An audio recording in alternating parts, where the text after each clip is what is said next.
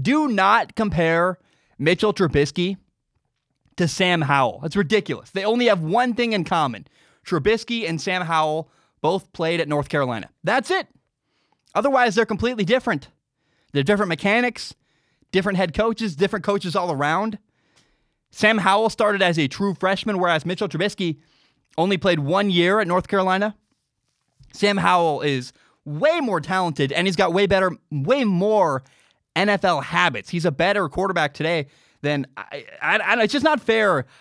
I appreciate people want to compare like oh they went to the same college this and that. They're different prospects all around and it's ridiculous to compare sam howell to mitchell trubisky. Mitchell trubisky's not the same level quarterback as sam howell's going to be in a couple years from now. And the only thing you can compare they're completely different quarterbacks. The only thing you can talk about in comparison is the fact they went to the same place. If you compare sam howell to mitchell trubisky you're doing him a disservice and it's entirely unfair and it's actually a ridiculous comparison because again I know Trubisky went way too high in the NFL draft. He's probably a bust.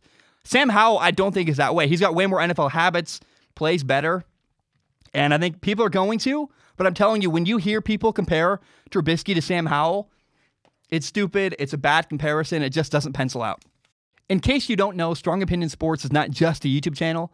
It is also a full audio podcast. You can find it on Spotify, on iTunes, on Google Play, pretty much everywhere you find podcasts.